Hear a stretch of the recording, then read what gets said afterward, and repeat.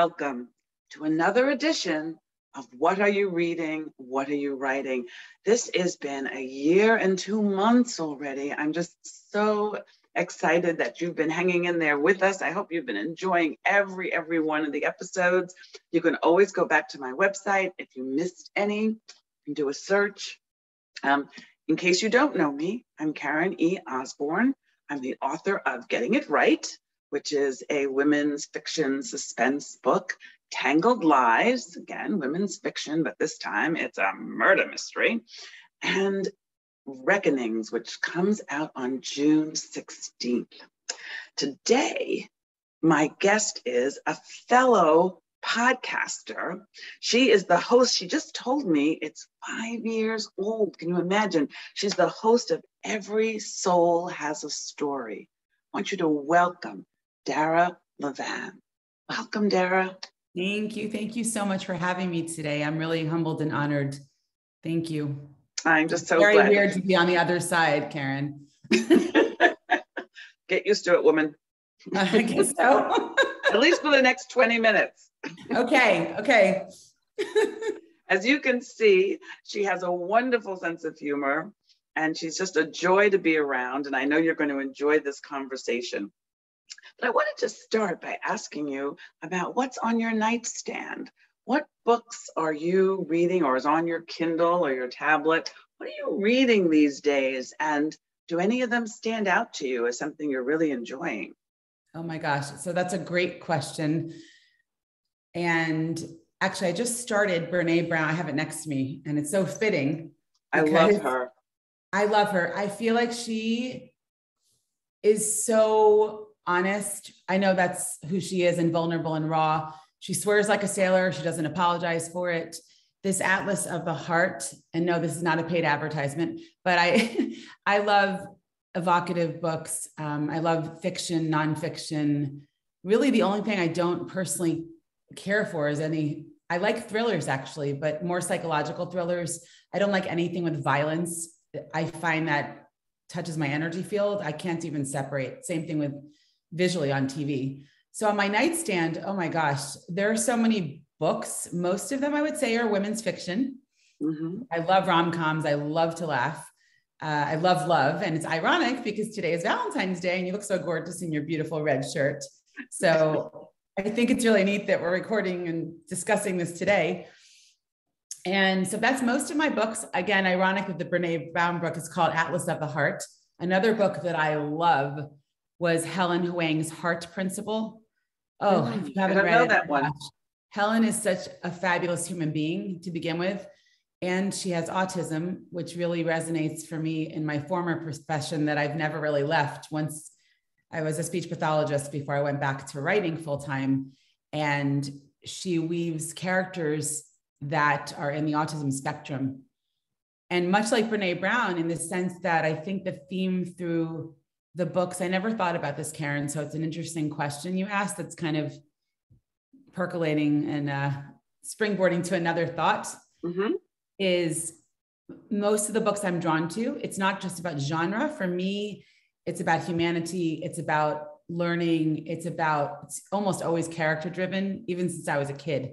Mm-hmm. I'm really, and I know, as you know, as an author, there's this character arc, blah, blah, blah. But yes, although that occurs in all stories or it's supposed to, I think certain authors and certain stories really lend themselves to that. And when I really feel, same thing for music, I love musicals. I know when I've left a show and I cannot stop singing it, it got into my soul. So, same thing. I can't say, oh, I only read women's fiction. To me, just like a human being, it's not about color, race, religion, sexual orientation. It's about the person a book for me is is like a person. So if it grabs me by the heart, I'm all in. And that's kind of how I live in general. Yes, so. yes. So you mentioned a couple of things in that answer that I just want to follow up on. Um, one of the things you said was that you were a speech pathologist. And I would love to hear about how that affects your writing. How does that affect um, you know, the things you're pursuing now? Mm, that's thank you for asking that. Um, Great question. It affects it in ways in which I could never have predicted. So, first of all, I just completed my first novel. I'm querying it right now, and my heart and mind are completely open to how, however it's birthed in this world. I'm not just stuck in one way. I do know it's an important story. And part of the story, my protagonist has a speech disorder mm. or we could call it a challenge. And I decided, as she wrote herself, it's wild. You know, a lot of our author friends often say, "Oh, I heard this character in my head," and I and I'm I'm, I'm thinking you have some kind of psychosis. Like we really have to get this checked out. P.S. That happened to me. I mm. never thought I'd write fiction. Everything I speak, I write, I think, I feel. I used to be a reporter. I was a journalist. It's always been truth. And I woke up literally January 1st, I guess 2021. And it just fell out of my mouth. I have to start my novel. And I went, like, I, you ever surprised? I was shocked. Even the word novel, I'm like, what? Who is this? And I just sat down and it poured out of my heart, my hands from my fingertips. And there it was. And so she taught me as I started going through this, I said, you know what? Going forward, any other novels? Now it's gotten plural karen. I mean it went from weird to weirdo it's like who is this? Yeah it's exciting. Um i'm just going with it. We'll always have some sort of representation of a character or characters with a speech and or language challenge and possibly emotional as well because those are all my specialties. I worked a lot with kids with autism pragmatic challenges pragmatic meaning social skills I've also personally edited five books on ADHD and social skills for a psychologist years ago. Um, so that seems to all be circling back, and it is thread throughout my novel, very subtly, but it's it's not so subtle. You, you know, and you know that's related to emotional trauma of this protagonist, and it's her journey of healing. And as the novel and the story progresses, you start to see how her speech changes a bit too. Yeah you told me also that um, so the name of Dara's uh, podcast is Every Soul Has a Story, and you can see that that's a perfect title for her. Uh, and so, one of the things, how did the speech therapist um, deal with starting a podcast? Was there any influence there? It's interesting you asked. So, my podcast is actually two years old this week. So, this is so timely that you had asked me to be your guest and thank you. This is just, I'm really, I'm really honored. Every Soul Has a Story actually began as almost, I don't want to say a dare, but I had so many friends from back in my day. I went to Indiana University. I was an English and journalism double major. And some of my friends who knew me as Dara, the writer, which I was my whole life, it mm-hmm. turns out speech therapy was almost a detour from my true path and purpose. So fast forward for years, my friends were saying, you should start a blog. I said, I don't do that. That feels so naked. It feels so weird. If it's not in print, it, it just feels strange to me to hit send. And then there's like your words and your feelings are in cyberspace.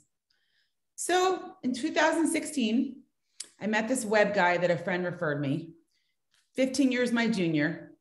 And he said, read me something. I read him something that I personally thought was lousy and he starts to cry. I'm teary thinking about this. And he says to me, You have a gift and you need to share this with the world. And I said, You just want my business.